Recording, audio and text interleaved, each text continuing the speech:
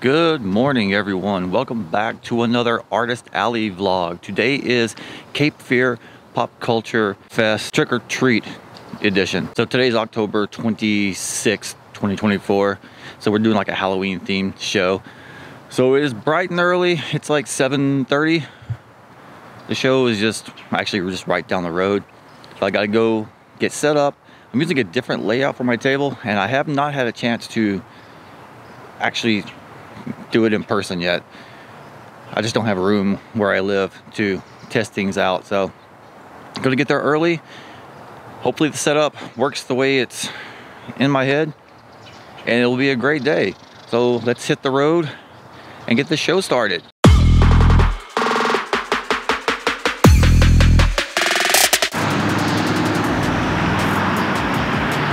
And just like that, I'm at the venue already. For you, it was an instant cut. For me, it was pretty much an instant cut. There was, it was like 35 seconds to get here.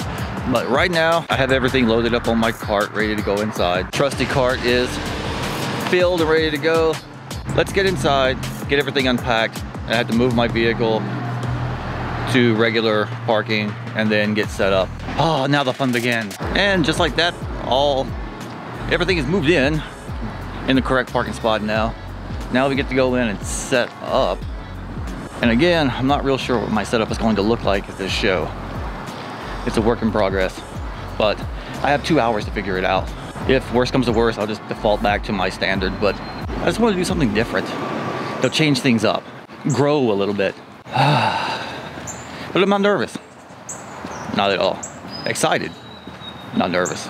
All right, I had to come back outside. Setup took a lot longer than I anticipated. It's now 9.40, so like an hour and a half to set up. So earlier when I was out here at 7 a.m., it was cold and dreary. Now, it's bright as mess again today. So setup is done, took about an hour and a half. Good times. Let's do a walkthrough of the show now.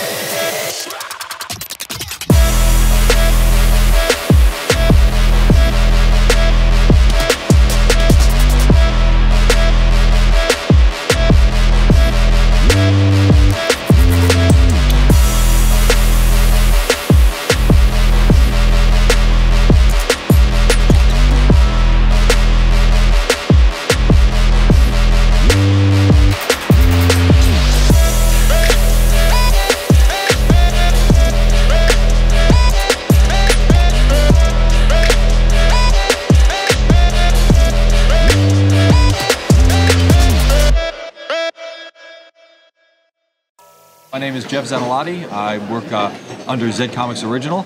I'm the writer, creator, and author of the comic Accidental Renegades. Accidental Renegades is a manga-inspired comic book about superpowered mercenaries who are terrible at their jobs. The more they fail, the more notorious they become, and they eventually start a global revolution. So you can see issue one's here. We've got the original pages inspired by a lot of anime, a lot of manga, and a lot of uh, X-Men comics from the 80s and 90s. I feel like it kind of comes through my work. Not yet. Looks, it really does. Holy crap.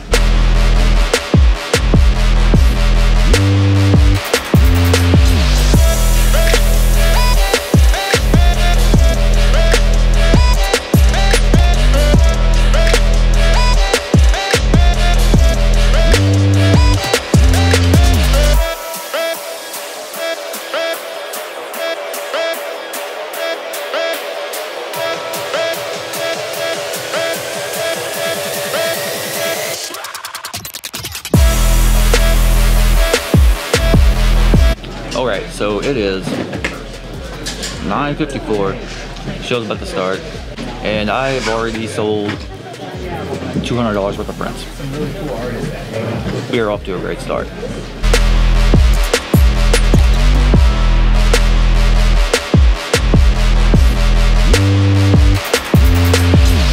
Okay.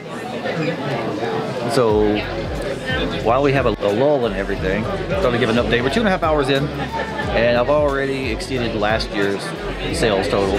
So that's very, very good. And if you're wondering why I'm like this, you're on a little countertop behind my table. I'm doing what I can, all right?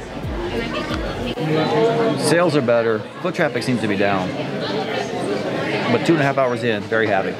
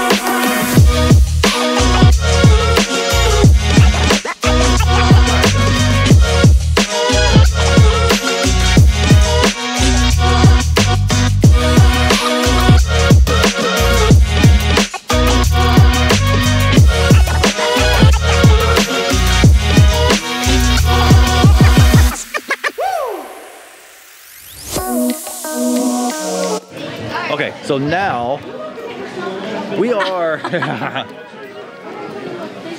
about an hour left in the show. Got a special surprise. Got a guest. Stephanie's not paying attention. I'm not. There we go.